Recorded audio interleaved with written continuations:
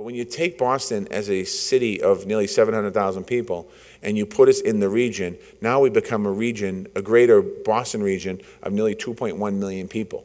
And that changes the way that we deliver services. That changes the way that we look at economic development. That changes the way that we look at housing. That changes the way we look at education. That changes the way we look at a whole host of different issues that we're dealing with in the city of Boston. Good morning and welcome to Boston, You're My Home, getting to Yes on Housing. Thank you all for coming this morning. I'm Renee Loth. I'm editor of this fine publication, Architecture Boston Magazine. It is the quarterly ideas publication of the Boston Society of Architects. Every issue has a theme, and the theme of the current issue is housing. We have, it's chock full of ideas, creative ideas from architects, designers, and policy um, folks um, to increase the supply of housing, uh, lower the cost while still uh, maintaining design excellence. And I hope that by the end of this morning, we'll all be a little bit more optimistic about our um, ability to achieve uh, our housing goals in the city because I don't think we'll be getting very much help from the federal government. Um, we do have a terrific panel today uh, to help get us there. An architect, a developer, a member of the building trades, and a public policy leader, sort of the full circle of the, the housing picture.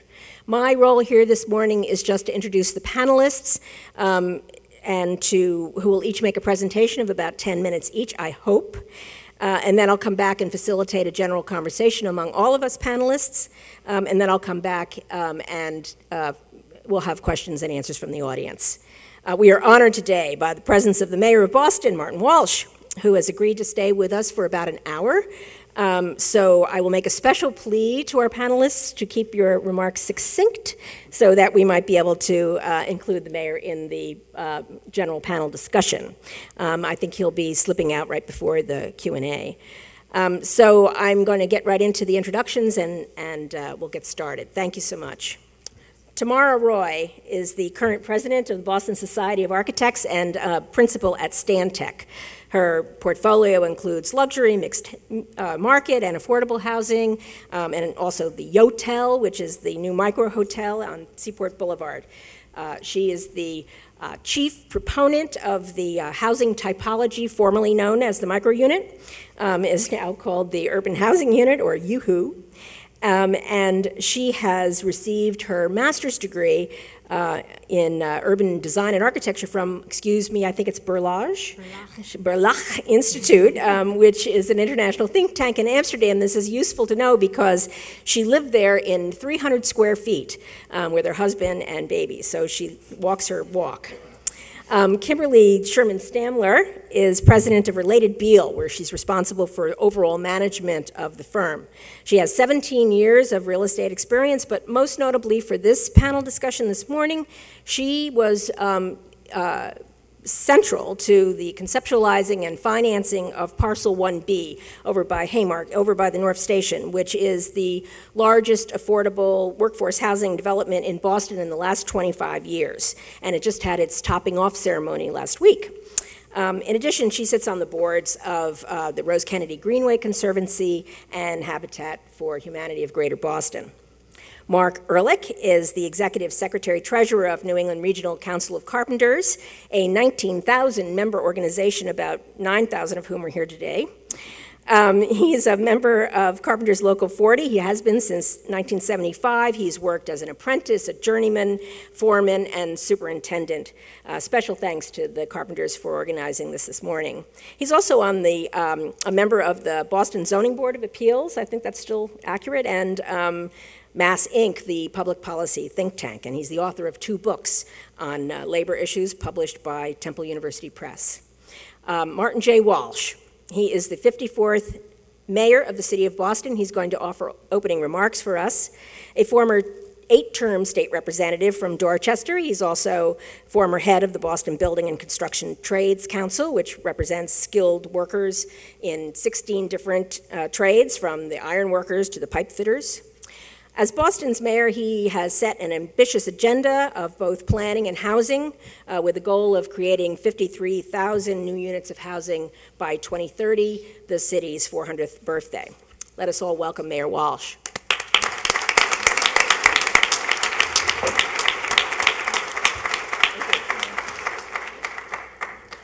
Thank you very much, Renee, and thank you for, for that nice introduction.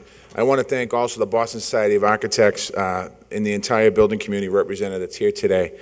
Um, we need everyone's help at the table if we're going to uh, continue the progress and take it to the next level.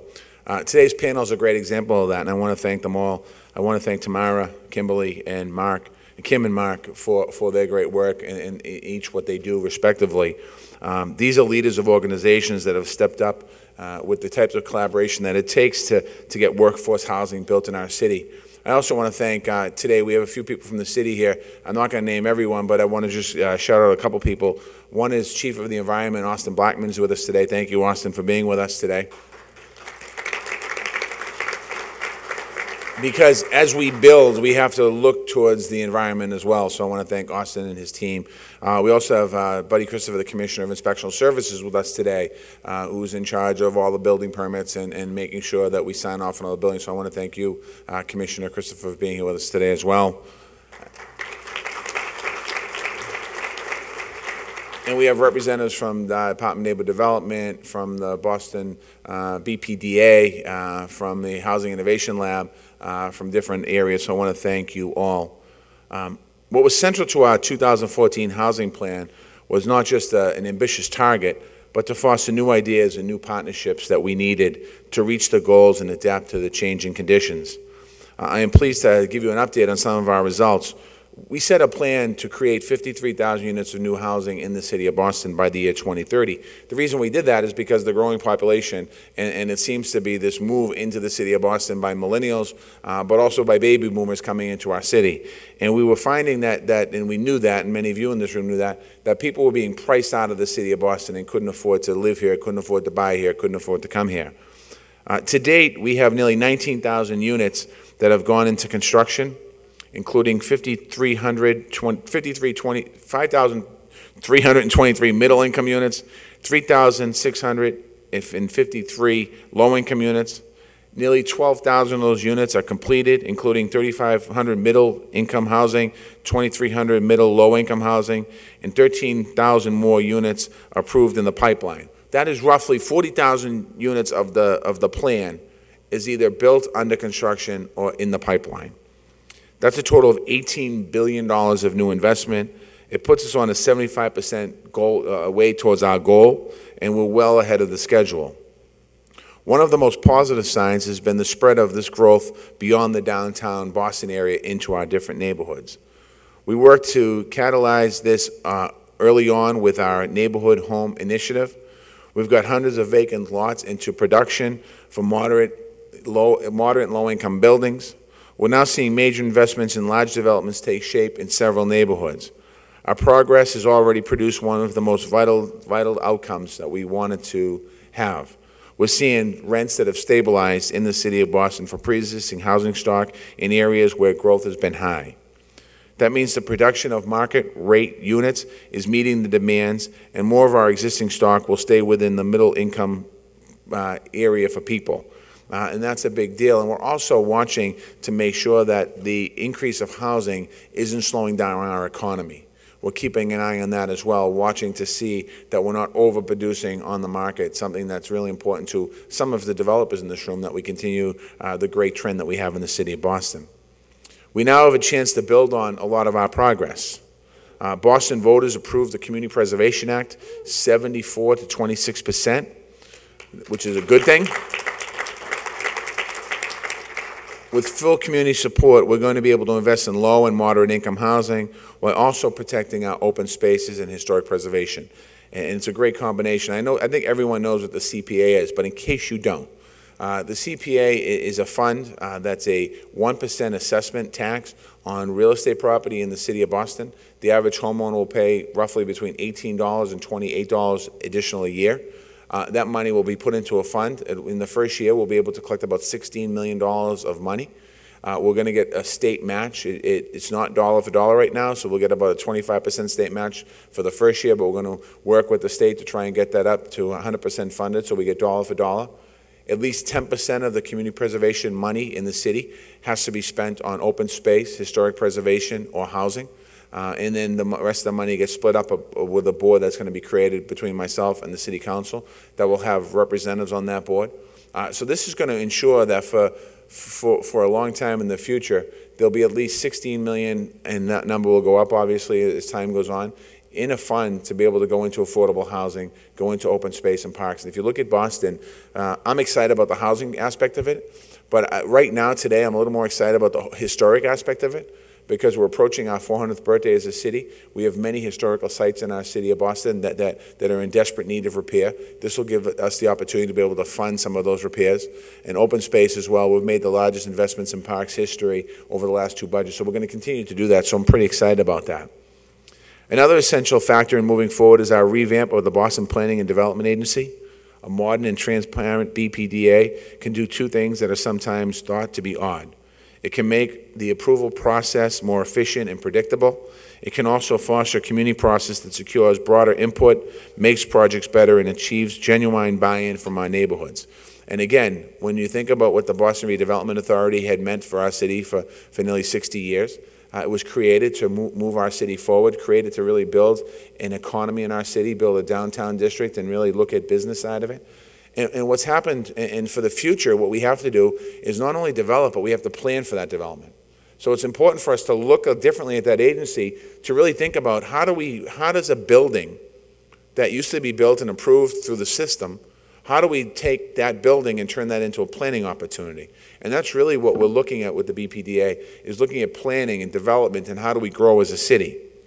It's a win-win for our city because we've launched Imagine Boston 2030, the first citywide plan, uh, whose first draft is going to come out this week, looking at looking at Boston and what we're going to be, what type of city we'll be in the year 2030. We're moving forward on strategic planning areas for growth zones in South Boston and Jamaica Plain, Roxbury.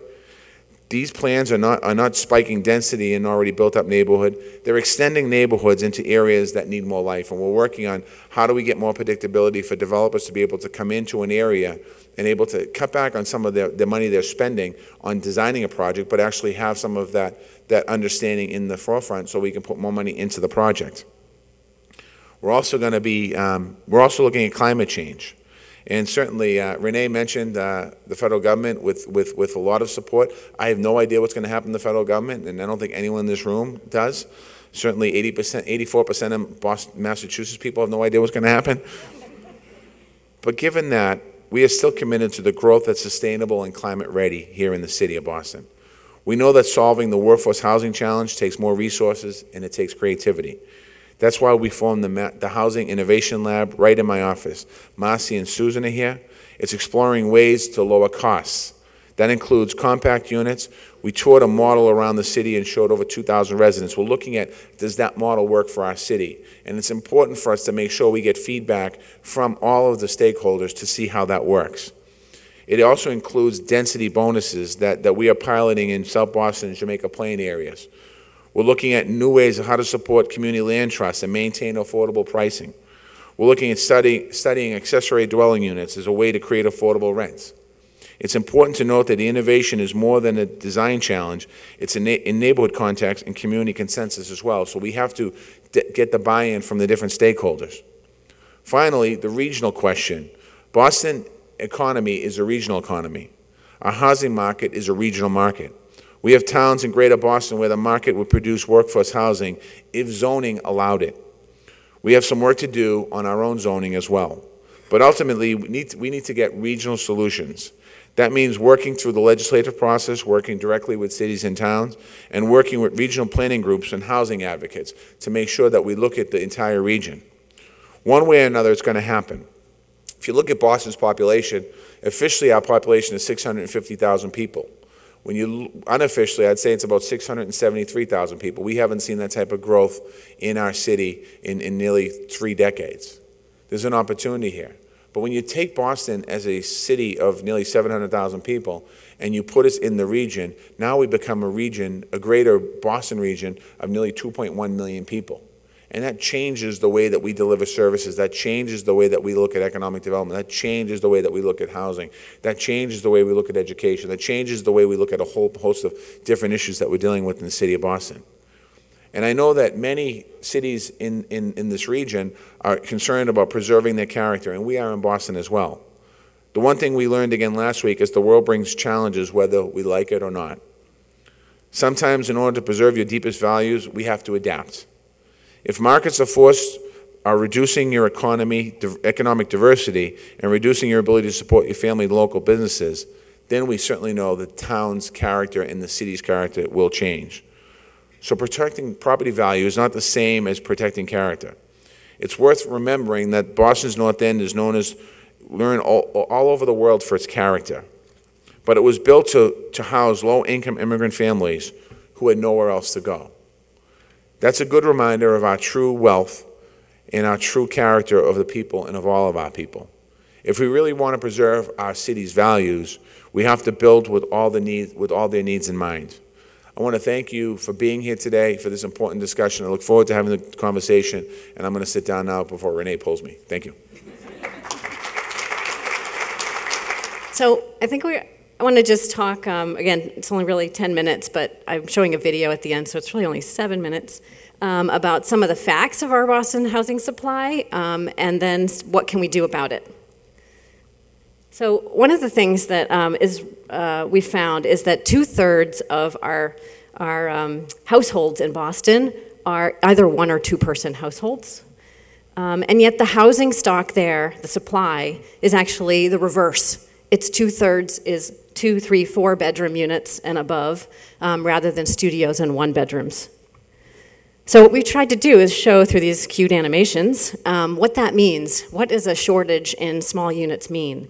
Um, so you have seniors, actually our largest growing population in Boston, who need to downsize and would like to move to places with elevators, for example.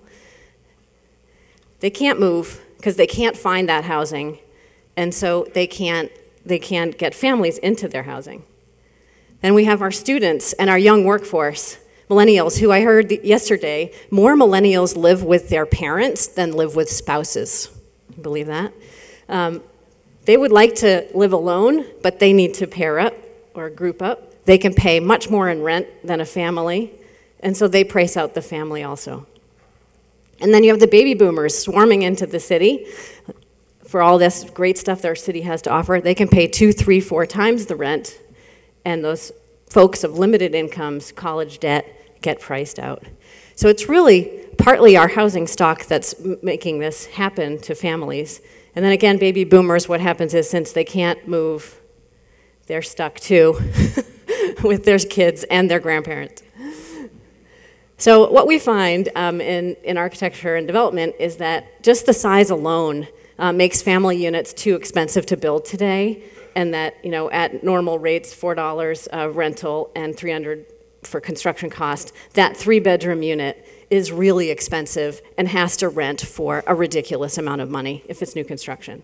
So that's why we start looking at smaller units for affordability.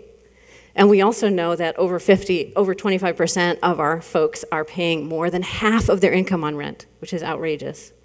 So I took a quick look, and I think uh, the mayor really already sort of went through these stats on how we're doing. Um, and as he said, we had the goal of 53,000 units, which is 17% additional to what we already have. Um, and we're already a third of that um, after two years, which is incredible. But before we start congratulating ourselves, 2% of that is at the very low income spectrum. 8% of that is below 60% AMI and then 21% is between 60 and 120, which I thought that's really great. We're actually doing pretty well in that area, but I thought I'd go on the BPDA website and just see what does that mean, right? And everybody asks, what does 60 to 120% mean? Um, and if you look at the higher ranges of these, which even I can't see from this angle, um, for the single person, that's a person making $82,000 a year and they're supposed to be able to afford an apartment at $1,650 a month. And you can see as you go through the family to the family also those numbers. And so I think one question um, does become like we want to let's not make sure that we're we're excited about something that actually most of our population would not see as workforce or, or middle income. So I think the, the conclusion really for all of us is we're all trying our best, but that the status quo is is um, struggling that we're doing so much luxury and so little um, modest in our car, my car analogy. I'd love to have the, the Prius on the right, um, but instead, and we'd love to have those numbers reversed, where 18% was luxury. That would match more of our, our city, and 82% was modest. But how could we possibly get there? Um, so we're just trying to keep eyes on the prize, um, and the mayor has been doing amazing stuff in this area. Pilots, modular, partnerships, land swaps, trying as hard as we can to get those numbers up. And trying to prioritize. I think the next step is really just being maybe just totally extreme about it and just saying affordability is is so important that you know we want to do density bonuses for anything that is up above 20% affordable can we lower the union rates for affordable projects? So we just push on, um, you know, when you're doing, um, trying to get more affordable housing in the city. And this one, crazy idea, could we um, earmark those extra property taxes that we're getting for luxury units and rather than just spreading them through the city's budget, actually say, let's take from those folks and put it toward the folks that need it. So what can we do? We are doing at the BSA this partnership with the Housing Innovation Lab and DND to do a pilot um, where we're, we're doing compact living for middle income renters. Um, we really want to build this project, not just talk about it, so that's exciting. We did a charrette in the neighborhoods where we taped out a 900 square foot three bedroom unit, which is lower than the, the zoning um, would say is the minimum size, and people actually said it could be smaller. Um, we also have a one-room mansion exhibit, which is at our at the BSA now. I encourage all of you to go. Um, so we've heard again, innovative housing is affordable, that it's a small unit with common spaces. So going out outside of the unit, what are those common spaces? We've mocked up an entire micro unit building at the BSA, and you can walk through it. It has common spaces, laundry, um, workspace, etc. Um, but what it really does, which is very interesting, is push these sizes really small and lets people experience them. And like the 615 square foot two bed, you can walk around there and say, there is no problem, I could live in this. And that is 400 square feet lower than what our city minimum is. Then lastly, the Yoo-Hoo, um, which I'm going to show the video about, prefabricated, 384 square feet, traveling around the neighborhoods, um, we also did a design, if people came in and said, this is not for me because I have a family, we did a design on the right where you put two Yoo-Hoos together and it's a 770 square foot three bed, um, which many people responded very favorably to. And again, on the left, what we're trying to show folks is that this is not about style. It, any modular development can fit into your neighborhood, it just depends on what it's clad with. And so this has been the feedback, 1 to 2% people, 2,000 some odd people that toured it, said no. The rest said somewhere in the range of maybe a yes. So I'm going to show the video now. And thank you very much. The Yoo-Hoo is a prototype 385 square foot apartment built in partnership with the Mayor's Housing Innovation Lab, the Boston Society of Architects, and Live Light. Its purpose is to gather community feedback about compact living in Boston neighborhoods. The Yoo-Hoo design is based on years of research on small unit living. It has a space for every function a large entrance foyer, a bed alcove that can be hidden with curtains for more privacy, a wide hallway flanked by a storage closet and a code compliant bathroom, and a living room with a full kitchen and dining area. And what makes the Yoo-Hoo extra special is its many other features that make it seem so much bigger than it is. Let's take a tour. At the entry, the Yoo-Hoo is designed so you can see right through to the large windows in the front. There are hooks for coats, shelves for extra storage, and a place for a bench or other furniture so you can personalize. The bedroom alcove is large enough for a queen size bed with space to walk around it and a bedside table. Above is a large storage area for whatever you have that needs to be hidden from view. The wide hallway has lots of storage, an extra wide double door closet big enough for a stackable washer dryer and a clothing organizer, and storage above for items you use less often. The bathroom has a wide sink area and a large mirror cabinet, with space for baskets or a storage cabinet below, a towel rack, and a walk in shower, easier for seniors, and it feels like a nice hotel. Back in the hall, there is a bookshelf for office supplies, cookbooks, pantry items, whatever you like. And then the main living area is the wow space. Two pull out sofas make room for guests and provide plenty of seating. The dining table can easily transform from a desk to seating for up to six people for a dinner party. And with one entire wall of glass and doors that open to a balcony, the room feels large and bright. Most people are afraid that compact living means mini fridges and living like a student. Not here. The kitchen has a two burner stove. Who's used more than two burners? Lots of cabinets and shelving, a large sink, a full size refrigerator, and a pantry, as well as a microwave convection oven. Now, here's what some of Yoo-Hoo's visitors had to say. How do I explain it? I don't know. It's small, but it's like spacious at the same time. Like it's tiny, but there's more than enough space. Like you usually don't find that very often. You know, I would love to see this happen. You know, and I've never seen anything like this. This is the first time. You know, something like this coming into Mattapan. So it would definitely be um, a great, great, you know, great project to definitely see, um, you know, moving forward. You know. Um, the fact that I'm still a student and you know a lot of people that I know are still living at home with their parents and stuff, and they're looking to get out on their own. This would be a great way to start out. You know, I could have company and I could have you know people come in but they're not going to stay over. It's just for me. You know, I love it. I love, I love the idea. Really, I love it. I love it.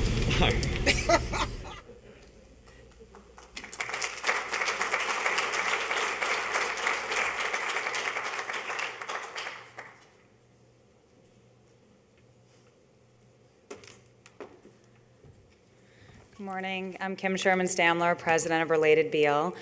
Uh, thanks for having me today. I'm thrilled to be talking about um, our project and our developments in conjunction with um, the mayor and um, Mark and Tamara. Tamara. I, um, I'm really excited about Parcel 1B, and our company has been excited about this project for a long time. But truthfully, um, our, our company is built on affordable housing, and we're always looking to get into workforce affordable and various types of housing in the cities that we build in. And although I'm going to talk about 1B and how complex and complicated it was, um, it was it was able to get done and get done in a short period of time because of everybody together that was working on this project. So I'll flip through the slides. My presentation is kind of short, but I'll probably talk a lot through it. Um, but one of the notable factors is, as we sit up here and we talk today about how you build affordable housing and how you build workforce housing, and it's a dilemma for cities throughout the country. The one defining factor that I found um, in working on Parcel 1B is the great desire to have workforce and affordable housing in the city of Boston and in the state of Massachusetts. It's something that people talk about all the time, but in my experience and our experience actually doing 1B, our, our coming to the table with various city, state, and local federal agencies to get the project done, I think was a defining factor in this project. You'll see that we Sorry. Oh. Oh, there we go. I know you can't see it. That's okay. That's okay. I know, I know it. Um, and so I will talk about that throughout the, throughout the, throughout the presentation, but you know, when people talk about the challenges, challenges of can it be done, the answer is yes, it can be done. And I think that our project is one of the more, more complex projects for various reasons, but I think that if everybody didn't get into the room wanting and willing to get this project off the ground, um, it wouldn't have gotten done. I don't think it was just us sort of as developers. So just to identify the site, it's located in the Bulfinch Triangle um, in Boston, in downtown Boston. It is one of the parcels that was born out of the Big Dig, and our particular parcel was a land assemblage of MassDOT land on a long-term lease and a private sliver of land that we ultimately combined and made one parcel. We are also, as a company, building in the North End. We're building residences on, on um, Lovejoy Wharf, and we built Converse's headquarters right across the street. So in that neighborhood, we're building about a million square feet, call it, and it was we wanted to identify a site that we could build workforce and affordable housing in Boston, and this was sort of a great site for us to do it on. Um, this project, Parcel 1B, was originally contemplated in 2007 as um, as an office building with a, either two office buildings and a hotel component or hotel and residential. And it went through different iterations throughout um, 2007, really to 2016, based on the market at the time, the developer at the time, and ultimately, at the end of 2015, we as a company came in to buy um, what was a planned and programmed and s- sort of approved project, but we did not want to do the same program as the original developer. We wanted to do um, 100% workforce housing with the hotel component. So just for some project stats, it's about 500,000 square feet. The current program is a 220 key hotel, 239 workforce and affordable units, 10,000 feet of retail, and 220 parking spaces. We're building over 93, and we had constraints in terms of going below, because going below is the highway. So we go five feet below, and then everything else is above grade. So when we, when we came into the project and changed, well, this is, this is actually the original program in 2007. Over time, it iterated through various different programs, and then we ultimately came to ours.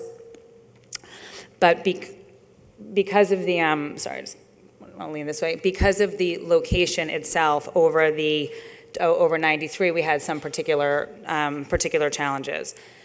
In addition to the um, complexity of building, because it was a MassDOT parcel with the private assemblage in an area that was, had both city and state jurisdiction, we also had federal jurisdiction because it's over 93 and um, the federal highways has to sign off on everything.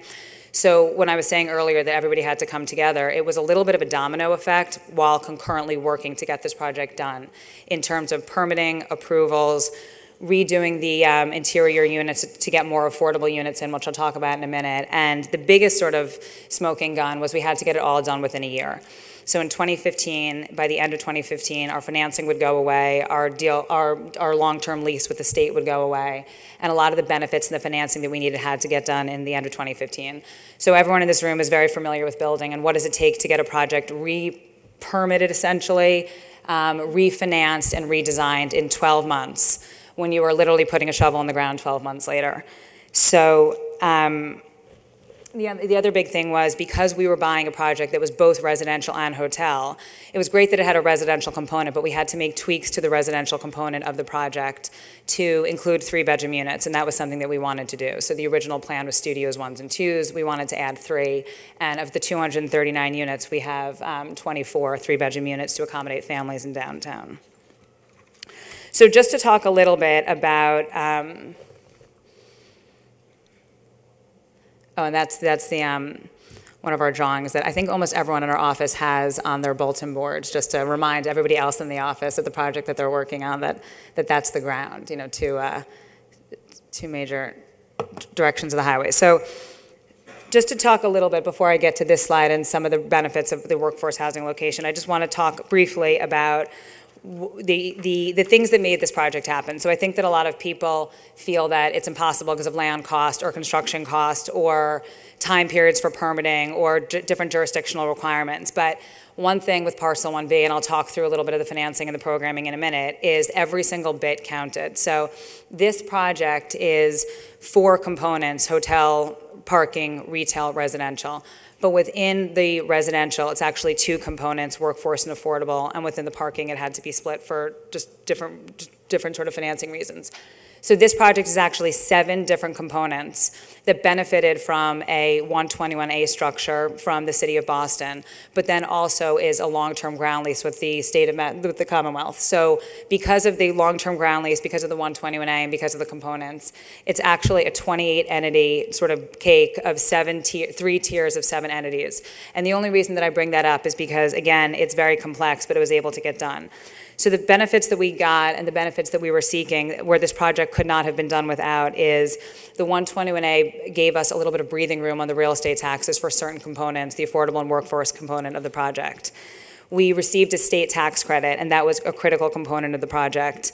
Um, I just want to note that the state tax credit um, currently is going through 2020 with the allocation that I think is $20 million that, that could possibly reset. And that was a critical component to our project, and that was an important piece of getting this to work because again, every dollar counted. So anything from a million to $10 million made this project work, and anything without, and any, and not having that, that extra dollar, the extra dollars to infuse into the project um, was, was sort of make or break. Um, we had affordable housing trust fund, trust fund money, and we were very appreciative of that. Our company was building sites across the street that we had committed to voluntary contributions of affordable housing before we even got involved in 1B. Our 131 Beverly project and our Converse headquarters project, we made voluntary contributions that ultimately got used for Parcel 1B, but we hadn't planned on that at the time. There were, there was another developer building in this city that needed production units that we put onto our site, so we were able to do that. And then we also um, financed the project with um, a portion of um, tax exempt, tax exempt bonds that also allowed us to get a federal housing tax credit. The, the, the financing sources, and our, our we had a conventional loan in the hotel, and our company put in a, a, a bunch of equity with, in- including with a partner for the hotel if I put it on an org chart, I mean, I started to do an org chart, it's blinding, and I started to do a list, and that's equally as blinding. But the reason that I bring that up again is because every contribution counts. And so I, I really sort of applaud the mayor on the CRA, and I applaud everybody's interest in that because those are meaningful dollars that really go into projects and make them work. And the dollars are so critical that it's make or break. And when you get that funding and you are able to push a project forward, you can do very complex projects like ours. Um, the other thing, too, for our project was we, we really thought that this location was a terrific one for affordable and workforce housing where you're right in the heart of downtown Boston. So that means access to work via public transit. It means you can walk. It means that you've got the public schools right there, and it means that your commuting time is less. And um, in our particular neighborhood, we have a supermarket and we have all the uh, neighborhood conveniences right there for people to, um, you know, live, work, and play. This is the ground floor. Um, the bottom is Beverly Street, and so you'll see that there the hotel component is along Causeway Street, and the residences are further back on Beverly with a parking entrance bifurcating the two.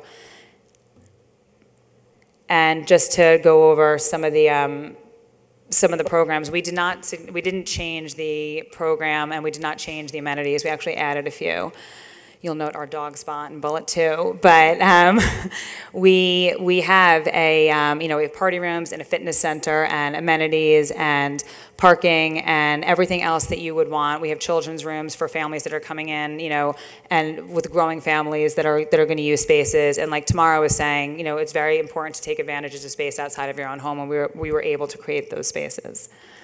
So this is, I'm, and I'm bummed because I did not, we, did, we had our topping out and I did not include a picture from the topping out. So um, we'll have to come back next year. But the, uh, the views from the, from the balcony, and again, we're 14 stories above the Greenway, above the, above the Central Artery Tunnel. So we're facing um, south and north. So we've got tremendous views.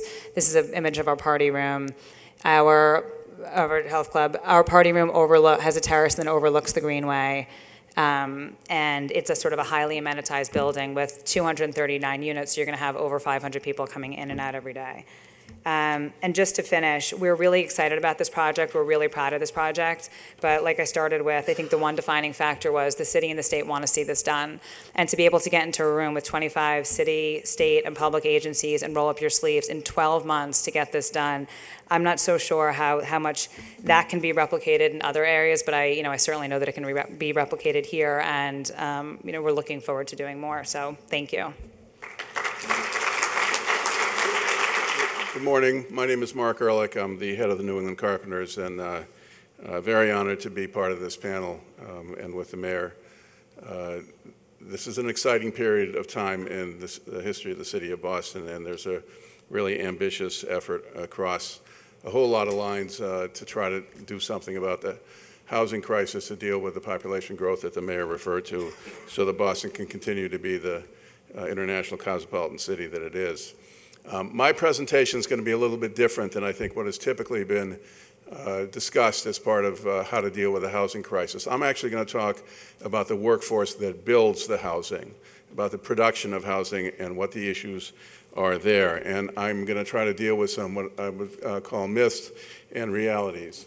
Um, the, the, information that is in uh, my presentation is based on a series of reports that have come out over the last couple of years. I'm sure some of them you're all familiar with, other ones you may not be. They refer both to Boston and New York City. And the reason I'm including New York is because New York is, is, has some, some of the same challenges. It's a growing city. They're trying to build more housing. Uh, but the other reason, quite candidly, is because since the recession, uh, much of the residential industry, much of the housing that is being built in New York is being built on a non-union basis, and there are people in the development community who are arguing that that should serve as a model for what happens in Boston. So I'm going to start with, uh, uh, I don't know if Tim Logan is here, but um, uh, last year Tim did a, uh, an article about um, uh, uh, the Northeastern report card on housing. And it talked about the drivers that were going in the industry that were, that were increasing costs. And what was interesting was I had read the report and I'd read Tim's article. Tim's a terrific reporter. And uh, there was a lot of discussion about the price of land driving costs, and there was nothing about the price of labor. But the headline said, land labor prices reduce prospects for affordable residence, a study finds. So I called Tim up and I said, How did that happen? And so he threw the headline editor under the bus. No, that, that, and that's fine. Um, but the real point is, why did that happen? And it happened because it had become the conventional wisdom, because there was a series of forums and op-eds in the business uh, journals that said that what was really driving uh, costs was, um, was that union labor uh, cost too much in, in the city of Boston. So um, uh, what I'm going to do is actually talk about what these studies actually say, as opposed to what a headline editor might have interpreted. And the reality is in, it's very similar in both Boston and New York City. Uh, construction, the hard costs, labor, materials, overhead profits for the contractors, subcontractors, et cetera, is 59% of the total development cost. The soft cost, the, you know, the list is there, design, financing, et cetera, et cetera, about 22%, and land is at about 18%. Um, but what is really interesting is when you look at these studies and they talk about what are the factors that are increasing costs and making it difficult to build non-luxury housing in the city of Boston, whether it's workforce, market rate, affordable.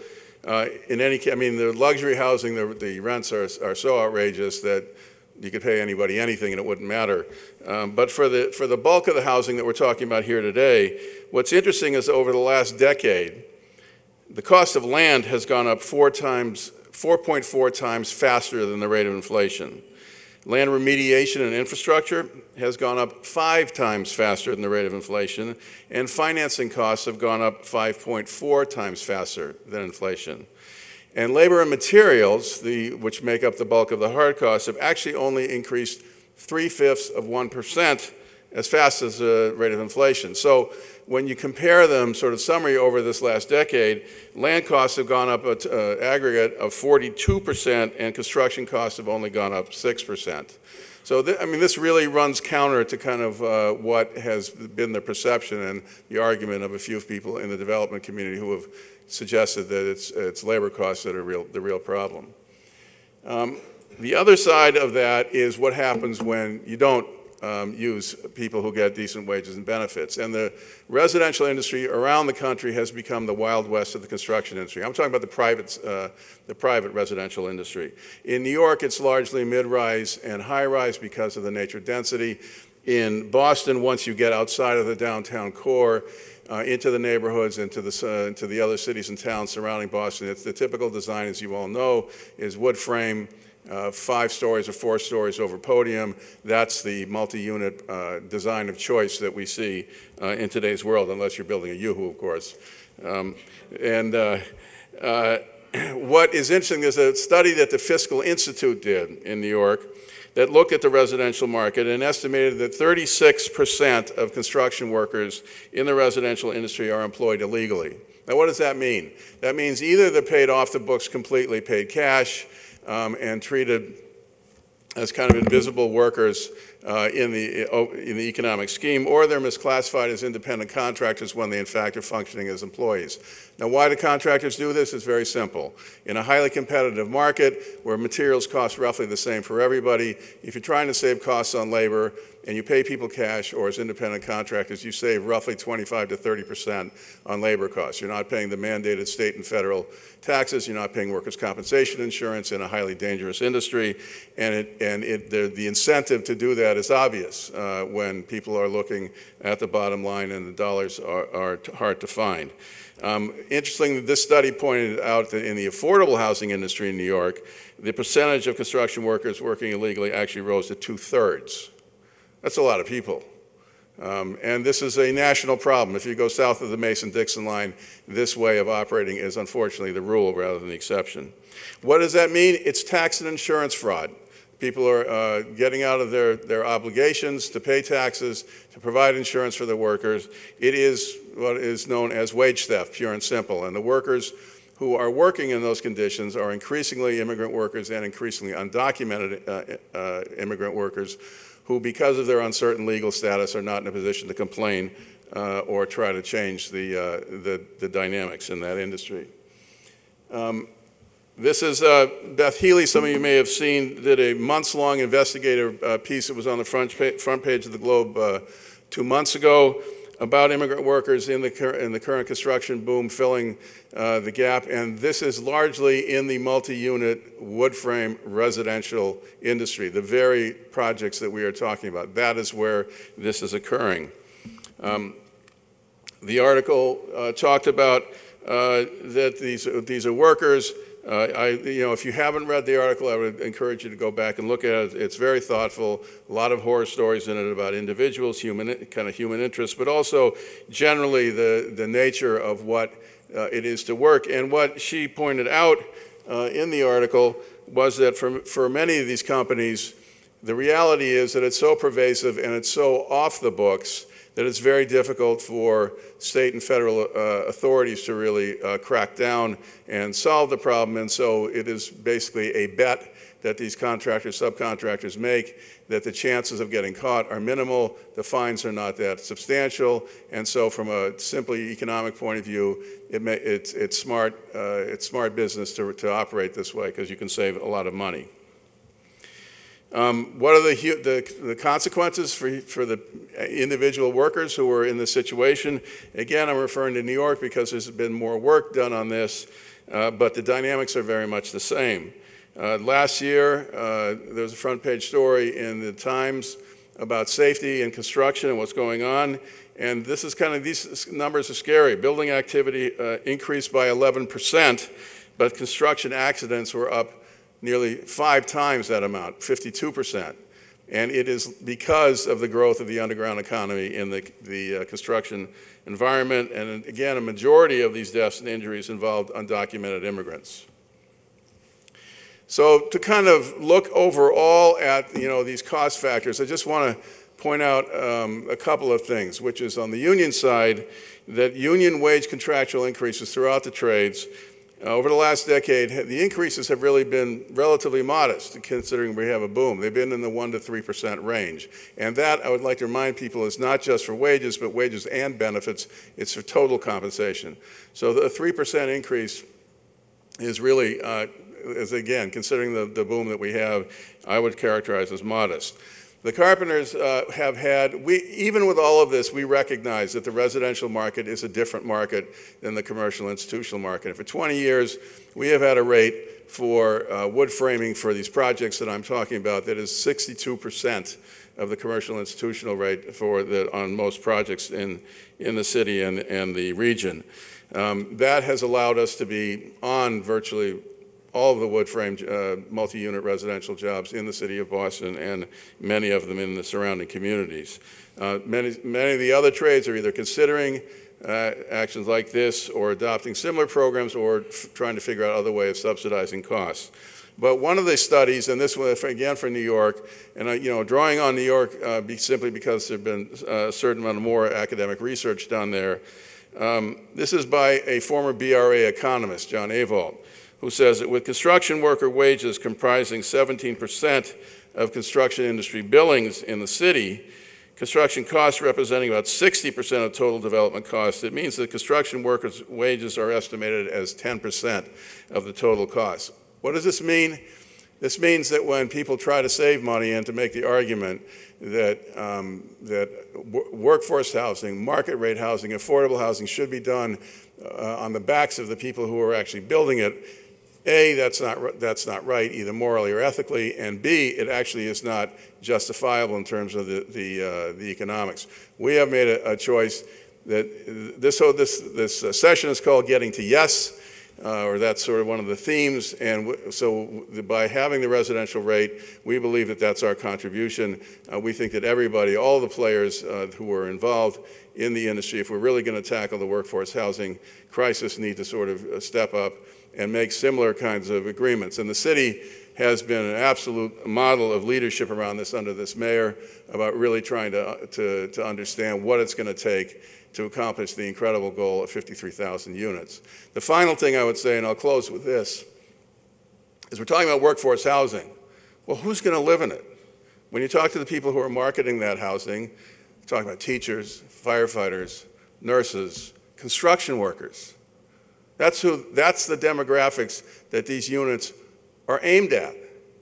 So isn't it a little bit ironic to think that you would build these projects with construction workers who can't afford to live in them because they're being paid cash and minimal wages with no benefits. So I would argue that when we think about the myths and realities, that the, that, that the workforce that is actually building these units has to be considered as one of the key components of a successful public policy program.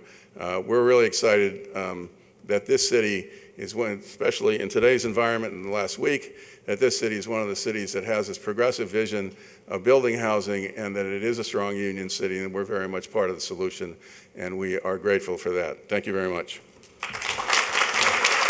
Okay, well, that was really great, um, and it was wonderful to have all of the different representatives of the total picture, you know, rep, uh, represented here: architecture, design, development, financing, labor costs, land costs, um, and public policy questions. Um, uh, so I guess um, you know the new in, uh, the new issue of Architecture Boston has all of these really creative ideas for um, increasing the housing supply, um, but many of them, and you, I'm thinking about we have uh, suggestions about accessory dwelling units or um, add-on units or uh, rehabbing um, commercial and industrial um, buildings or uh, developing projects without parking, which of course adds a lot to the cost of a project as well as to the person who owns the car. I mean, when you're trying to make these numbers work, I was interested to learn from the Metropolitan Area Planning Council that you can save $9,000 a family can if you can get rid of your car. And that $9,000 could go to paying the rent and make those, those numbers work. Um, but all of these kinds of um, creative new solutions require zoning changes. And um, these are been really very difficult. And so I'm, I'm going to just throw it at Devin. Why not?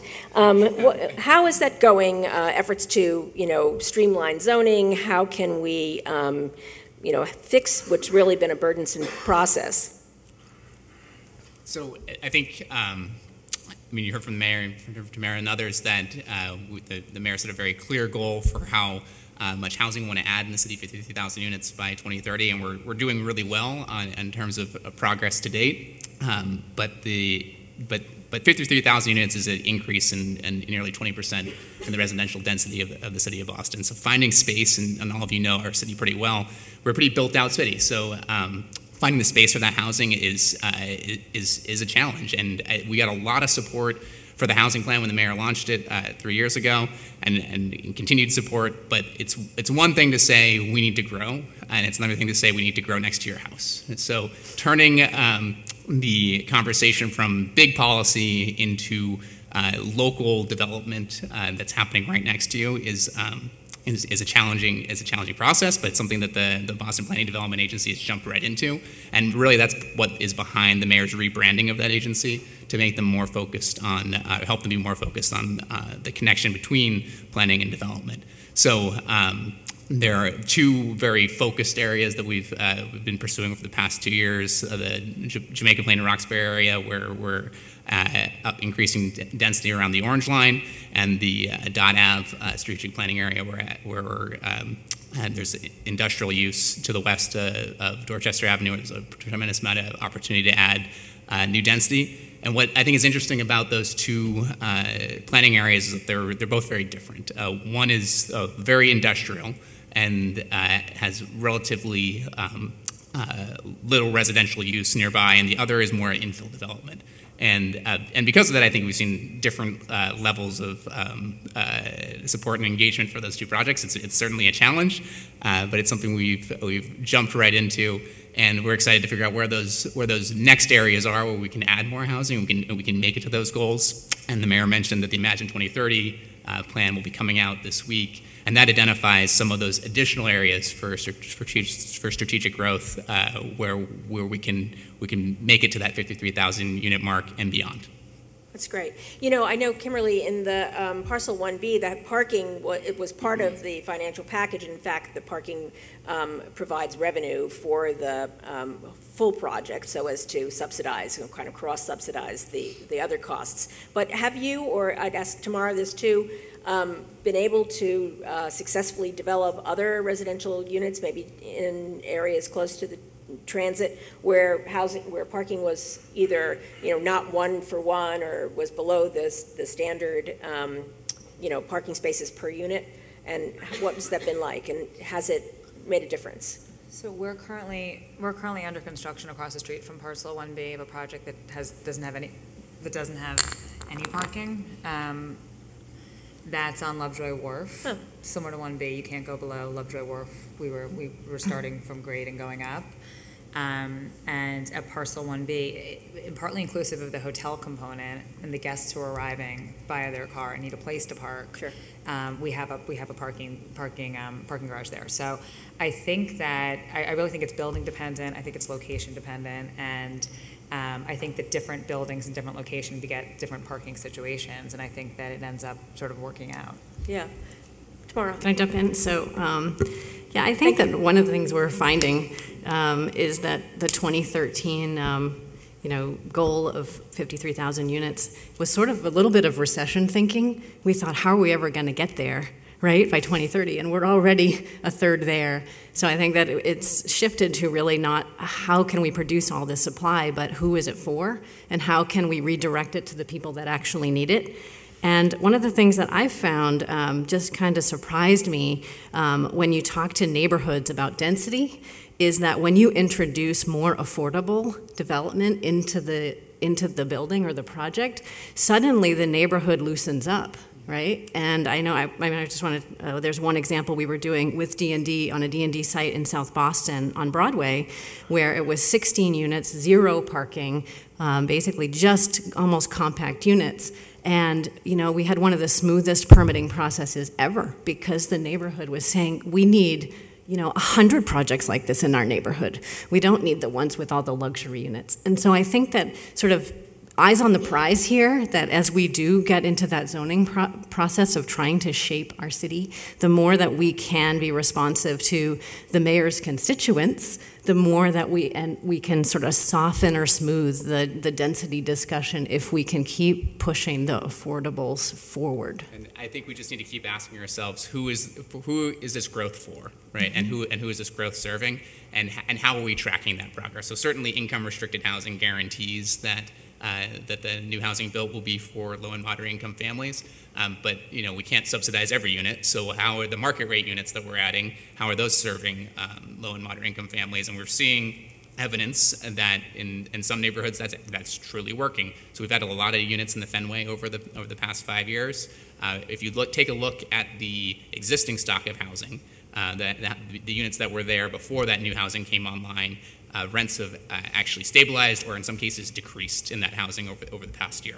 So that's evidence that that, that mm-hmm. strategy is working, although that strategy doesn't work in every neighborhood, right? I, I think if you ask any, anyone from Chinatown if the uh, addition of luxury units in their neighborhood has helped rents, the answer is absolutely not, mm-hmm. right? So we, that's a neighborhood that absolutely needs more income restricted affordable housing. Yeah. Um, you know, I, I live in the city of Boston and I, I care very much about the quality and the character of the city. I don't want it to become just an, another, uh, you know, I don't know, San Francisco, great city, but um, it's become a place where real people can't live. Um, but I also, the mayor mentioned um, that this has to also be a regional solution and that we have, uh, there are responsibilities of some of the outlying communities. I'm not thinking necessarily right now about gateway cities, which are also an option for many people, but, you know, the sort of leafier suburbs that um, surround um, Boston. What is their responsibility um, to step up? I, am feeling that, um, uh, you know, they could be doing a better job. And I'm wondering whether, this is also sort of a zoning question, whether part, uh, 40B, the requirement of affordable housing in um, other communities outside of Boston of the cities, is that working? Um, is there a better solution? Um, is it just moral suasion? Um, how do we get the um, rest of the state uh, to try to meet the, the commitment that the city of Boston has made? Any thoughts on that?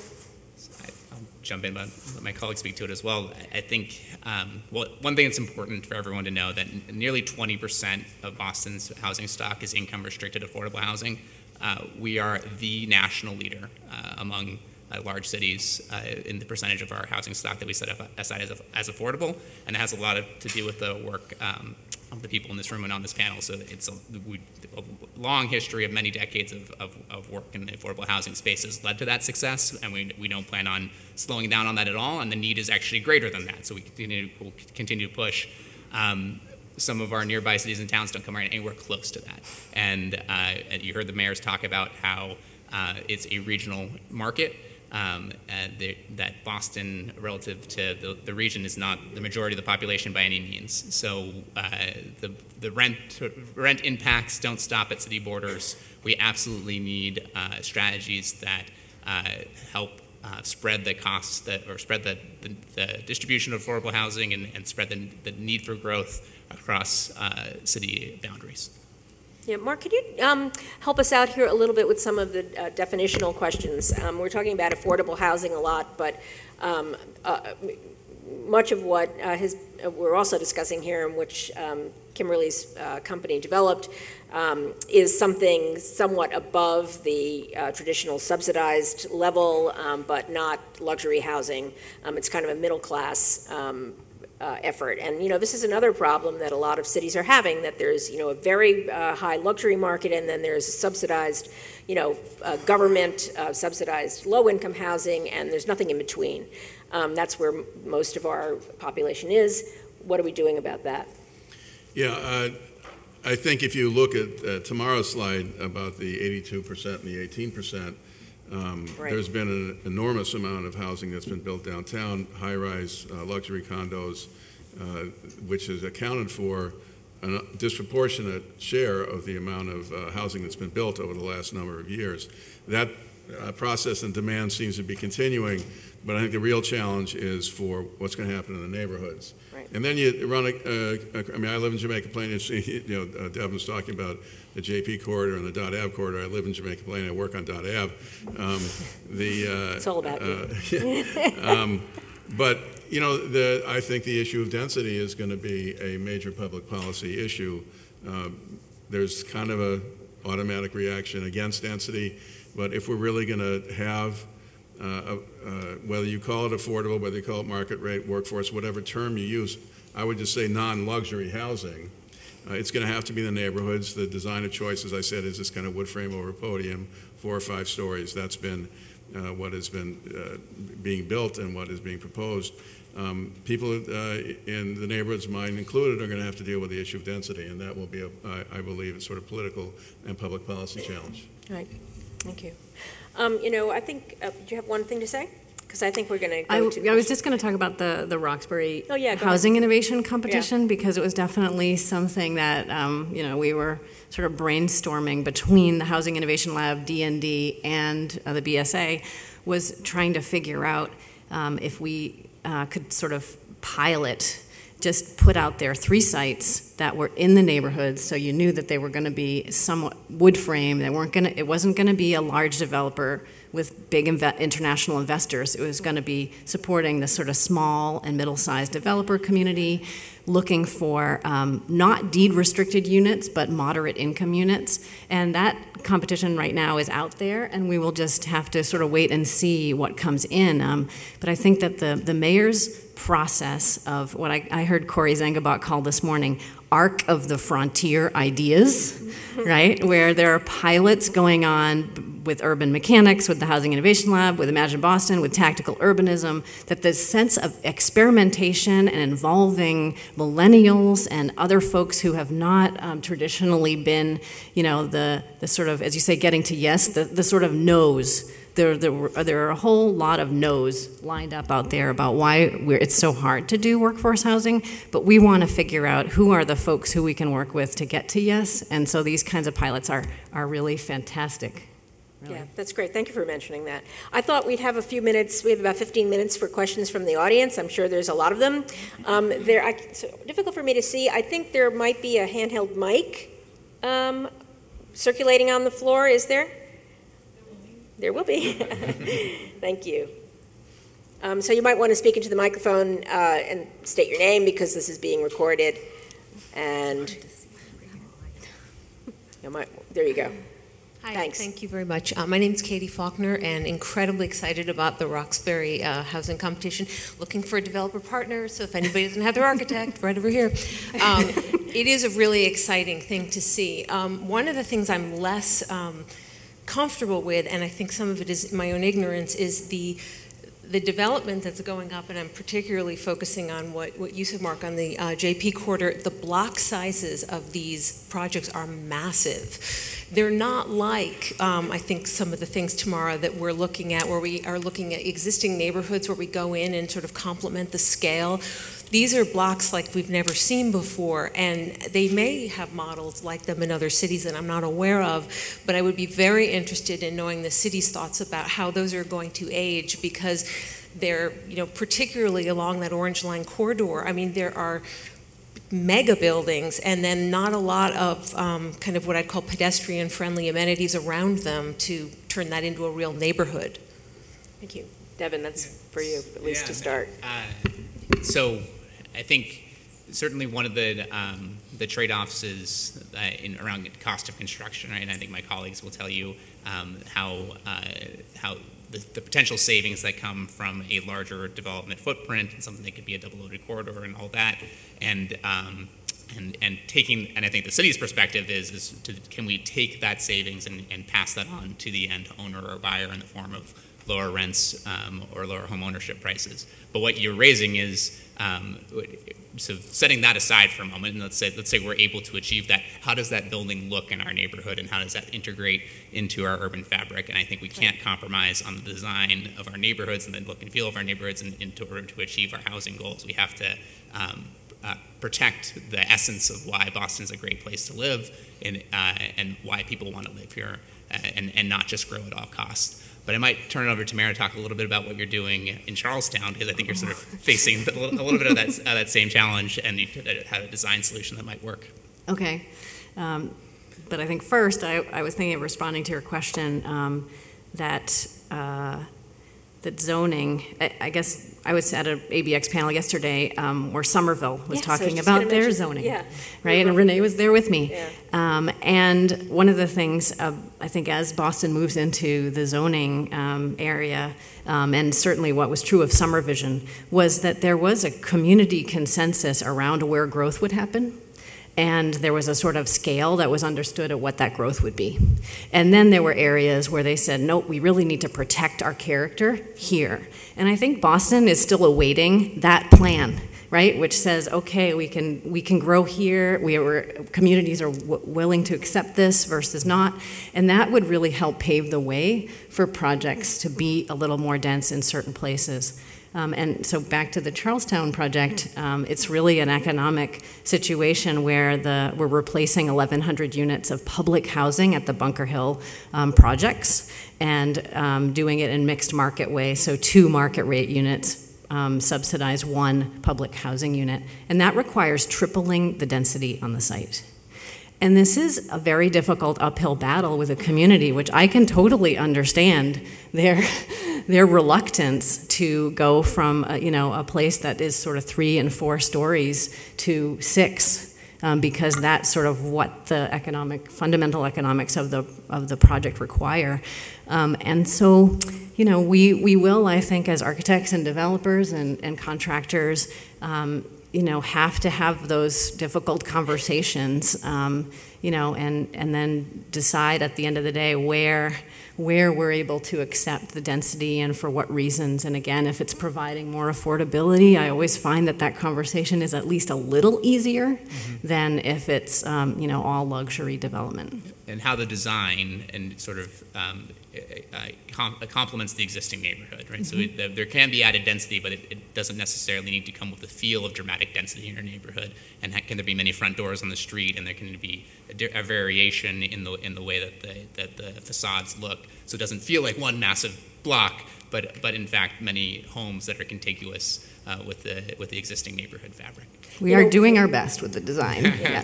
One of the peculiarities about Greater Boston, living in this area, is, and, and our one of our other issues of the magazine this this year um, addressed this, is that you know we are a, a number of different municipalities, and um, in a in New York City, Somerville would probably be just another borough of New York City, um, but it's its own city with its own um, regulations and laws. And um, one thing I'd like to see more of, I think all of us agree with this, but maybe in practice don't do it quite as much, is to learn from some of the experiences of these other cities. Somerville's like about a year maybe ahead of Boston because it just started sooner, and they've addressed some of these things. And um, you know, it's just an opportunity. I think the larger opportunity of this whole question um, is to get us to break down some of the silos am- among uh, communities and learn from each other. Um, that's my little editorial. Um, where is the microphone? Okay, I, I see Don, uh, Dan in the front here, and then, and then this woman in the back, right? Okay, thank you. So, one of the um, articles in Who this are you, latest please? issue, You have to Daniel say your Bluestone, name. I teach at Boston University. Okay, thank you. There's great news, Mark, in, in this idea for how to solve this housing crisis, which is to come up with a system that's more labor intensive and less material intensive. The way to do that is not to be building new housing, it's to take the slide that Tamara had, where we have way um, units that are way too big for the for the households we're trying to house, and to subdivide them and and have you know take a typical Boston triple decker and figure out how to get one additional unit. The roof is in place, the foundation is in place, the utilities are already on the site, and the best way to actually get to the mayor's 53,000 units is not building new construction, oh, but but rehabbing existing buildings in order to take advantage of, of all of that because we know the household size is falling precipitously. We're going to get down to below two people per unit. And we have a housing stock that's built for six and eight people. So the thing that we shouldn't be doing is looking at new construction. We need to look at something that's labor intensive, gets the work workers, the carpenters onto the site, really figures out how to work with generic housing types in Boston and, and crank out that 53,000 units of housing without breaking a sweat. Those are micro units. The roof is in place, the foundation is placed, the walls are there, the utilities are on the site. That's what we ought to be focusing on. And there hasn't been a word said about this on this panel today. And that's a problem. We ought to be thinking about that. You could read more about it in this current issue of Architecture Boston because Dan wrote a very compelling piece about this. Any thoughts about this? That, that uh, you know, the, this is also a zoning problem, though. You know, you need to um, figure out how to, how are we going to add a, a fourth floor to a triple decker? Yeah, yeah. What,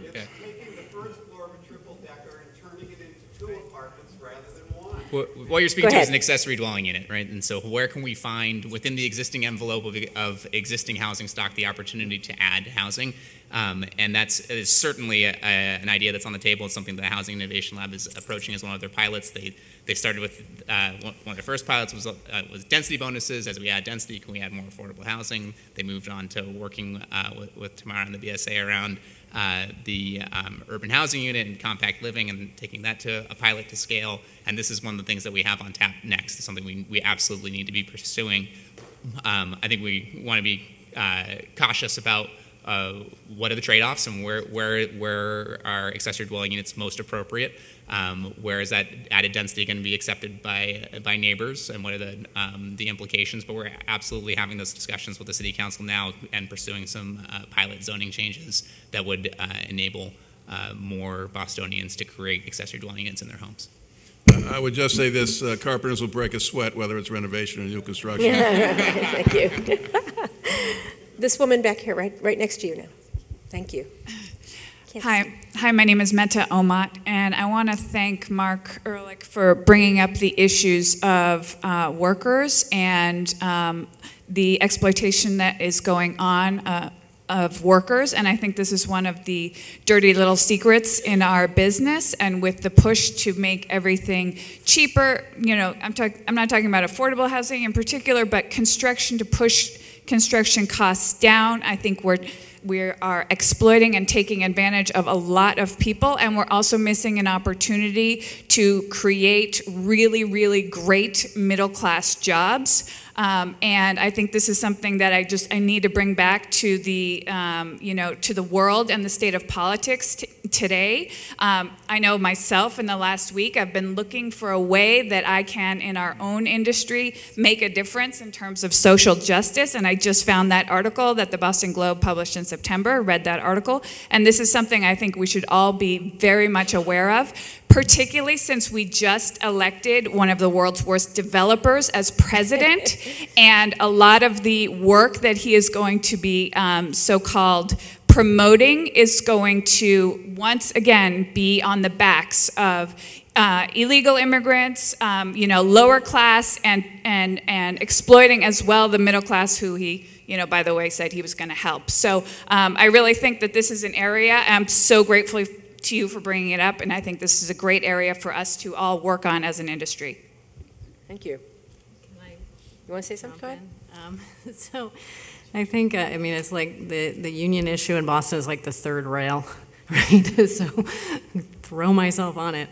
Um, but I think one of the, the frustrations that I hear and you know from my clients is that you know there's a pretty well understood um, knowledge that when you say you're going to use 100% union that that's basically adding a 25 to 35% premium to your project and it's actually really really hard uh, or it's getting really hard to make the the units work the the numbers work and I really appreciate the residential rate I absolutely applaud you, and I would love to see the other unions actually sign on to that because this, you know, when I mean, I I worked on my mother's house in New Hampshire and I pulled the wire myself because you're actually allowed to do that in single family construction. And I realized it's like, this is not that hard. Like, I would never want to go into a high rise and pull wire myself. But in a wood frame construction, you can do it. And as long as there are ways to, um, you know, make sure that folks are getting a living wage. I'm from a union family. What I would I would like to see the sheet metal workers, the electric workers, the plumbing workers come on board with this and understand that it is a different construction type and that we don't need to be paying really exorbitant rates to do wood frame uh, construction. And then hopefully that that premium will go down. The other thing I think that we struggle with is um, because it is such a busy time right now is that you know and it won't maybe it won't always be busy but um, you know when i have i know a lot of architects who say you know we're we're trying to get union um, plumbers and we we got no bids on our project because everybody's so busy that you know we building we a casino in Everett. right um, and so i think that you know here is where um, you know the i appreciate your comment and the and the question but i think that that this is where like the market our, our market, you know, would respond to this demand if we would allow them to, um, you know, and sort of non-union folks would jump in and fill this gap. And yes, we want to make sure that they're well paid and, and have benefits and not be illegal. Mark. Mark. Um, well, to welcome you onto the third rail, uh, uh, um, I, so, I kind of feel like I can only speak for uh, our organization, and I'm reluctant to speak for others. As I said, 20 years ago, we recognized that the residential market is a different market uh, in terms of economics and in terms of the workforce and the contractor base, and established this rate. And it's worked really well, and we are on most of the sizable uh, residential wood frame projects in, in the city and many of the surrounding communities.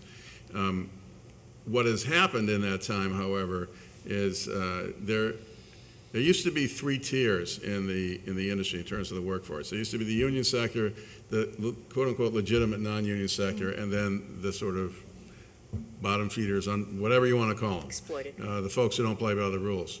And at least what's happened in the basic trades, and this is not actually as true in the licensed mechanical trades, but in the basic trades, what's happened is that middle has, has disappeared. We've grown, we've taken in a lot of those folks, we've adjusted, and, I mean, we are much larger, our market share is much bigger, the contractor, we signed 49 contractors last year, 48 the year before, um, and so you have now a two-tiered system. And the problem, at least with respect to our part of the industry, is that um, I can walk you on any wood frame project uh, anywhere in eastern Massachusetts, and I can virtually guarantee you that if the carpenters are not union, they're being paid cash. And that's a sad state of affairs. And that is not an exaggeration. It is, the industry has become bifurcated. Uh, and again, that's not true of the licensed trades because licensing um, sort of is a barrier to that, but it's, it's a real problem. Uh, and, um, you know, I appreciate the comments of the, uh, uh, the last speaker, and uh, it is a dirty secret. It is not widely known. Uh, Beth Healy's article was really nice. Uh, she spent six months on that, um, talked to dozens and dozens and dozens and dozens of people, and I think was shocked by what she found out.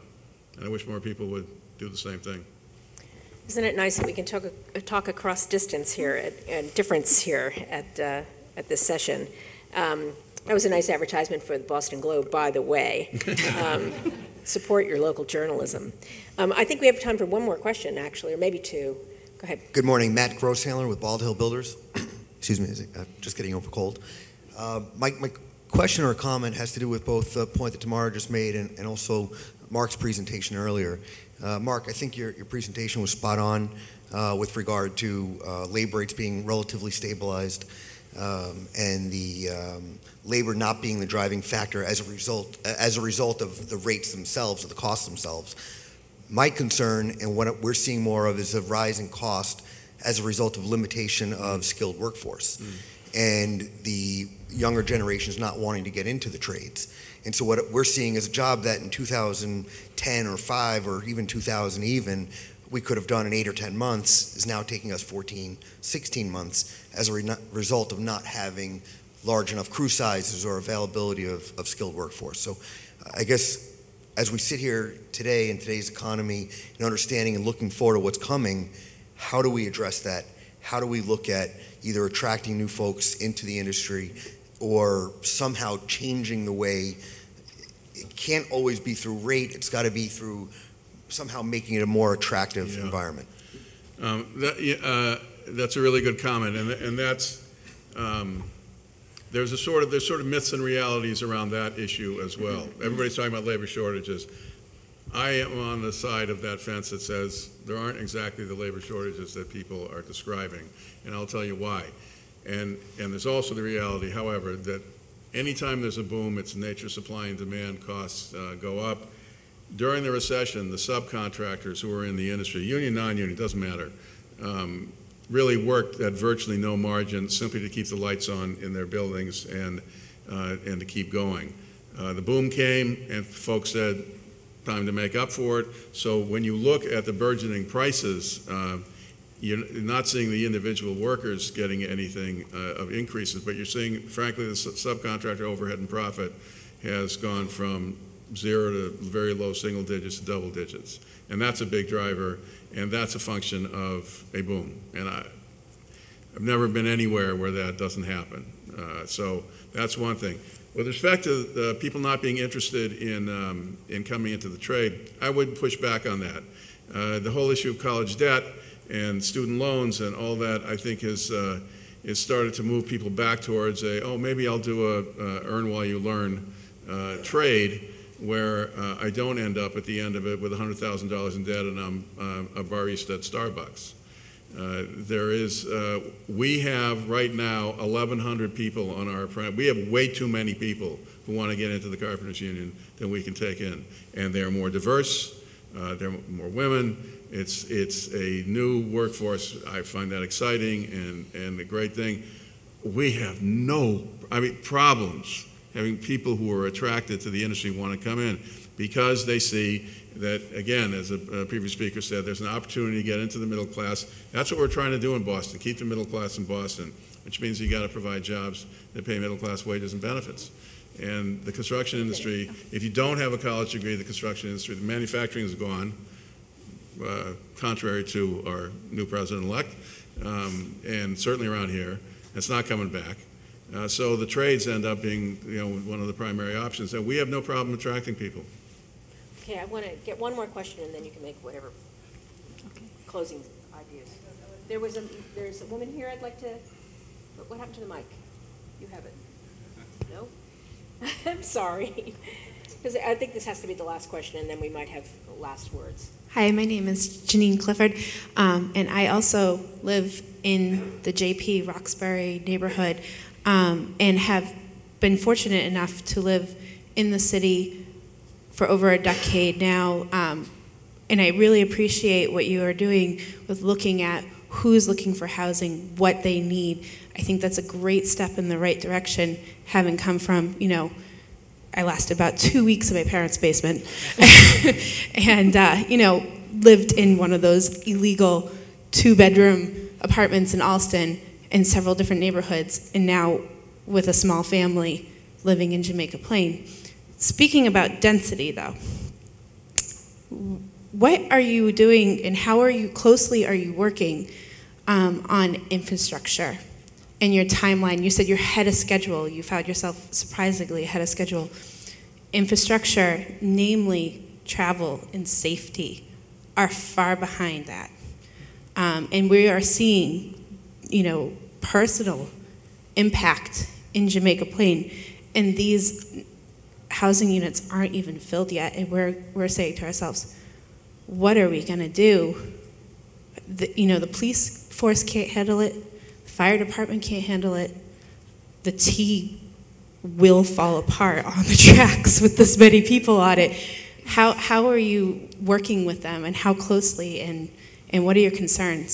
Okay, I'm, I'm going to ask, De- yeah, Devin first, and then all- Yeah. everybody can just say a couple of closing words, and I, I think that will be the, the end of the session. But thank you for that question. It's a great question. Uh, and I- I think that's fundamental to the, the work that the, the planning development agency is m- leading in, uh, in Jamaica Plain and Roxbury. It's, it, and I think one thing that I can say about um, that planning effort and the Dot Ave planning effort that are very unique is that they're, they're extremely cross-departmental. Um, historically, my department would not be involved uh, in, a, in a planning effort uh, in Boston. It would be the planning department would go out there, we'll make a plan, and then we'll report back to what that means for the transportation department and the housing department and the um, uh, other supporting departments. But they've been at the table, they've been at every meeting.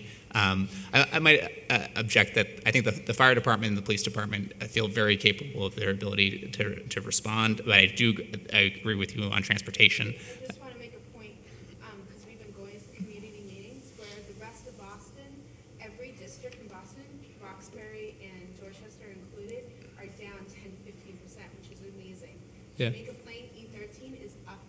Crime rates. Yeah. Yeah. So I- for those who couldn't hear, her point was about crime rates in in, uh, in Jamaica Plain. I, I'm probably not the uh, the best person to speak to that, but uh, but I'm I'm I'm, sh- I'm certain that the, the police captain district would have a, a, a pretty cogent response. But that's that's what they're. I mean, community policing is what uh, what Boston is is all about, and and it, there are and there are lots of components of infrastructure. Uh, there's a little bit of a chicken and the egg problem, right? Uh, you, certainly, we could- could, not wait to uh, fix every problem with the T uh, and every issue with the fire or police department before we build new housing, and it doesn't work in the opposite way either, right? So that's what really planning is all about: is how can we move um, these processes uh, together. Um, uh, just as a as a sort of final. Uh, the closing thought, too, a little tangentially related. Uh, the solution to Boston's housing woes is not only about growth either. Uh, we, al- we also have to find strategies to protect the people who are living here today, um, and in the and help them stay in the housing that they're living in today. So one of the things that the mayor announced this year is a new office at Housing Stability that opened this July that um, is focused on renters and market rate housing and helping them with the legal services, case advocacy, uh, rent arrearage payments, everything that they need uh, to help them um, to stay in their homes. So it's not, it, uh, while this panel is appropriately focused on growth, that is not the only thing that we're pursuing. Yeah, Thank you. I'm just getting the hook here, so um, if we can very quickly, just a couple of last words, that would be great. Thank you. Um, I, w- I would say, just in terms of uh, the biggest barrier to economic development is infrastructure. Uh, Devin can kick that to the state, so, and throw them under the bus. Uh, But um, I just think it's important that uh, our mission is to make sure that the people who build the buildings, however we're going to build it, renovation, new construction, uh, are paid fairly, get a uh, decent wage, benefits, uh, so that they can live in the city that they're building. Thank you. I think it's great that we're all here on the panel talking about it. I mean, I think the talking about it is, is, is terrific, and I think in the city of Boston, we're doing it. So the more we talk, the more we do, the more we engage on new ideas um, out of the mayor's office and everyone else, um, I think is not just a start, it's a continuation of what everybody in the room and everyone in the city and, and the Commonwealth and the country wants to do right now. So doing it here, it's great. Thank you. Very quickly. Yeah, I just wanted to speak to the, the labor shortage um, issue and modular, since that didn't come up as a question. Um, and actually, Mark has, has been over um, many years wanting to have a modular factory in um, Massachusetts, and I, I appreciate his support of that because I think that in terms of factory jobs that are high quality, that are year round, um, this is something that will attract young workers. Um, and I think the question really is, you know, where would it go? And there's a lot of push for it to be in Boston, but I would argue uh, since I'm at this bully pulpit, that it should go to a gateway city somewhere in the western part of the state along I 90, where you can actually, you know, there is a low cost of living. You can buy a house for $100,000 and you can really support a family on these um, kinds of great jobs. And there are lots of good examples of modular being done in Cambridge, Newton, Malden, Quincy. We're not right now very, it's not very um, accepted here. Um, and I, I guess I, I'd love to see there be um, from the ZBA and others more flexibility to allow that experimentation to happen at the pilot level so that we can see um, whether there are economies um, that can, you know, be built into our, our, you know, this to getting to higher workforce housing uh, numbers. Thank you very much. Thank you, everybody. This is terrific.